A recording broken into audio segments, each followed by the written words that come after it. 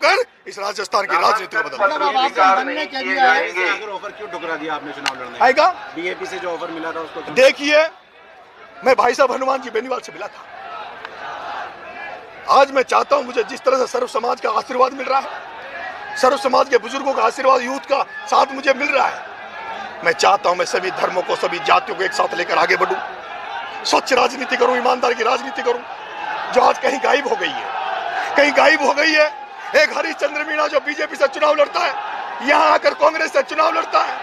कई लोग यहाँ वो कहता है हरिश्चंद्र मीणा तू तेरी दुकान छोड़ना चाहता तो चाहता 2028 में ये जो डमी कैंडिडेट उतारा है, वो हार जाए। फिर मैं 2028 में कैंडिडेट को कहूँगा कि अब लोकलों में दम नहीं है स्थानीय प्रत्याशियों में दम नहीं है, दम है तो हरिश्चंद्र में है, और फिर तू चुनाव लड़ेगा। नरेश मीणा आ गया हरिश्चंद्र मीणा देवली उनियारा की धरती पर। जिस तरह से प्रमोद जैन भाया की दुकान को बंद करके उसी तरह से देवली उनियारा से हरिश्चंद्र मीणा तेरी दुकान बंद कर दूँगा। दो से मुरारी लाल मीणा तेरी दुकान बंद कर दूँगा। और ये जो राजनीति जो पैसे की राजनीति कर रहे हैं इनको घर बिठा देंगे का मुकाबला राजेंद्र गुजर से है या कस्तूर चंद मीणा से?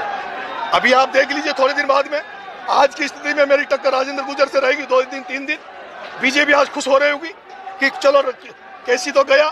केसी की जमानत तो जब्त हो गई नरेश के आने से लेकिन तीन चार दिन पहले क्योंकि आज जो पुलिस का, प्रशासन का सपोर्ट मुझे दिख रहा है, उनको इशारा होगा बीजेपी वालों का कि अभी नो नरेश की मदद करो।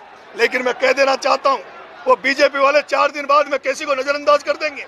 वो नरेश मीणा से अपनी टक्कर मानेंगे और वो प्रशासन का दुरुपयोग करेंगे, सरकार का दुरुपयोग करेंगे। लेकिन भारतीय जनता पार्टी वालों, मेरा नाम नरेश मीणा है।